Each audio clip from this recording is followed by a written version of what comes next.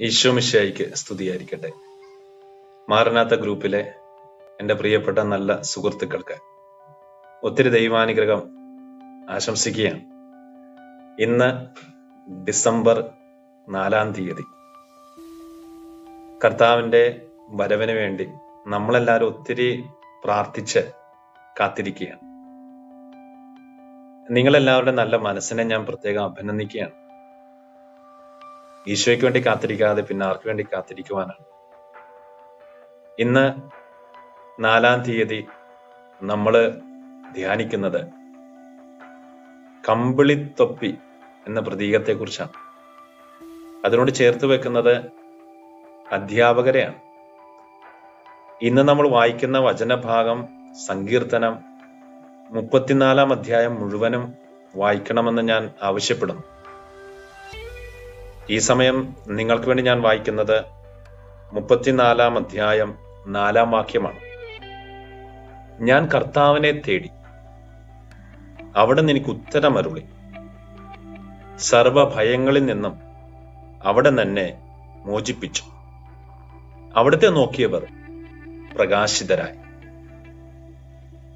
വളരെ സുന്ദരമായ വാക്യങ്ങളാണ് സങ്കീർത്തനം മുപ്പത്തിനാലാം അധ്യായം നമ്മളുമായിട്ട് പങ്കുവെച്ചു തരുന്നത് ദൈവത്തിന്റെ സംരക്ഷണമാണ്. ഈ ആഗമന കാലത്തിൽ കർത്താന്റെ വരവേണ്ടി കാത്തിരിക്കുമ്പോൾ നമ്മളും അറിഞ്ഞുകൊണ്ടും അറിയാതെയും കുതിക്കുന്നതും ആഗ്രഹിക്കുന്ന എന്താ? ദൈവമേ നീ എന്റെ ജീവിതത്തിലെ കടന്നു വരണമേ എന്നെ സംരക്ഷിക്കണമേ എന്നുള്ള വലിയൊരു ആഗ്രഹവും പ്രാർത്ഥനയുമല്ലേ ആ ദൈവത്തിന്റെ സംരക്ഷണമാണ്.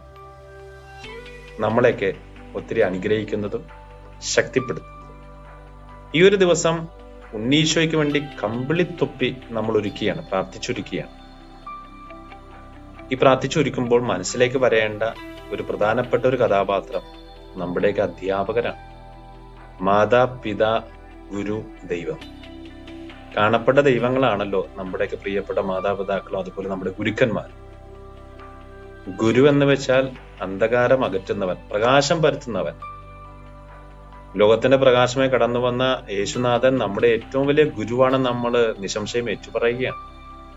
അപ്പൊ ദൈവതുല്യമായിട്ട് അറിവിന്റെ നല്ല പാഠങ്ങൾ പകർന്നു തന്ന നമ്മുടെയൊക്കെ പ്രിയപ്പെട്ട അധ്യാപകർ എന്തുമാത്രം പേരുണ്ട്? കുറെ പേരില്ലേ നമ്മുടെ എല്ലാവരുടെയും ജീവിതത്തിൽ?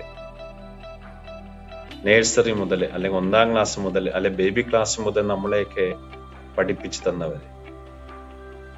അവരെടുത്ത പ്രയത്നങ്ങളും പരിശ്രമവും അല്ലേ നമ്മുടെ ജീവിതത്തിൽ എന്തെങ്കിലുമൊക്കെ നേട്ടങ്ങളായിട്ട് നമുക്ക് ഉയർത്തിപ്പിടിക്കാൻ സാധിക്കുന്നത്? അവർ പഠിപ്പിച്ചത് കുറെ അക്ഷരങ്ങളല്ല. അവർ പഠിപ്പിച്ചത് അവരുടെ ജീവിതങ്ങളാണ്. അധ്യാപകര് ഏറ്റവും നല്ല സഹായിയാണ്. അധ്യാപകര് ഏറ്റവും നല്ല മോട്ടിവേറ്ററാണ്. അധ്യാപകരാണ് ശരിക്കും നമ്മുടെ ജീവിതത്തെ നറീഷ് ചെയ്ത് മെരുക്കിയെടുക്കുന്നവര്. അധ്യാപകർ ഏറ്റവും വലിയ ശക്തിയാണ് നമുക്ക്. അധ്യാപകർ നമുക്ക് റോൾ മോഡലാണ് നമുക്കറിയാം പല വ്യത്യസ്ത മേഖലയിൽ ജോലി ചെയ്യാൻ വേണ്ടി നമ്മൾ പല ട്രെയിനിങ്ങിലൂടെ കടന്നു പോകുമ്പോഴും എല്ലാത്തിന്റെ അടിസ്ഥാനപരമായിട്ട് നമുക്ക് അധ്യാപകരുണ്ട് കൂടെ. ശരിക്കും പറഞ്ഞാൽ ഒന്നാം ക്ലാസ് പഠിപ്പിച്ച അധ്യാപകര് അല്ലെ നഴ്സറി ക്ലാസ് പഠിപ്പിച്ച അധ്യാപകര്.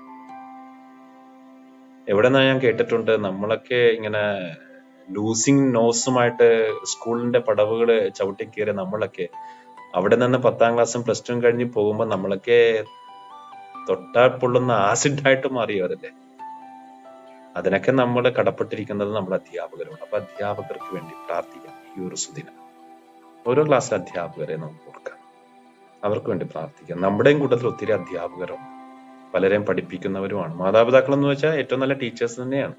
നിങ്ങൾ നിങ്ങളുടെ മക്കൾക്ക് നിങ്ങൾ നല്ല ആദ്യത്തെ ഗുരുക്കന്മാരാണ്. അപ്പൊ നമ്മുടെ മാതാപിതാക്കളെയും പ്രത്യേകം ഓർത്ത് പ്രാർത്ഥി എല്ലാ അധ്യാപകർക്കും ദൈവത്തിന് വലിയ സംരക്ഷണം ലഭിക്കട്ടെ എന്ന് പ്രാർത്ഥിക്കുന്നു.